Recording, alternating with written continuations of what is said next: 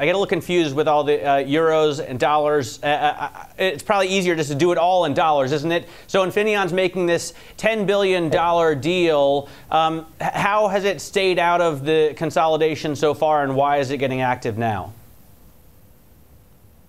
Exactly, Matt. You just said it. Bottom line is a big deal again, once again, a big deal in the semis industry. There's been a lot of consolidation over the past five years. I mean, uh, when you look back, we've seen so many deals. We've been writing so many stories about chip makers. And the fact is that they need to gain scale because they are finding less and less customers and they are finding it difficult to keep up with growth. So here it is, um, um, M&A Monday, as you said, Matt, and we have another big deal, cross-border Germany into the US. It's a very, very large deal and we were uh, able to break the news uh, over the weekend on it. So um, we had the exclusive here on Bloomberg, and it represents yet another massive premium, another way to uh, see how these deals get put together. Uh, the main question now, Matt, going forward is whether or not there will be any regulatory hurdles. We've seen in previous deals in this industry,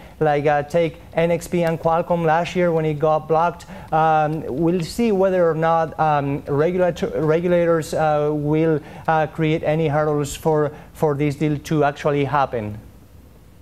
And Emmanuel, another big deal we've been talking about this morning uh, is uh, in connection with the logistics space and online shopping. Blackstone's big logistics bet this morning. Why does uh, Blackstone want to do this deal?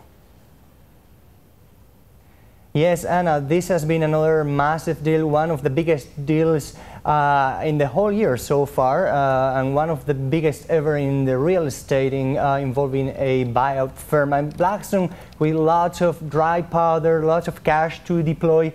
And here we have logistics, another sector that is undergoing massive consolidation. We've seen some previous deals in the past, and um, again, we are looking into an industry where you see a lot of changes in trends. Uh, in this case, consumption, taking the US with the likes of Amazon. I mean, people want their goods to be delivered as soon as possible, and that involves uh, companies trying to bulk up their warehouses and their storages all over the country. So this deal, while a massive um, um, premium involved again, uh, there is lots of growth opportunities ahead uh, in this particular industry. So I think that helps explain why Blackstone is so keen to uh, bulk up and grow in this space.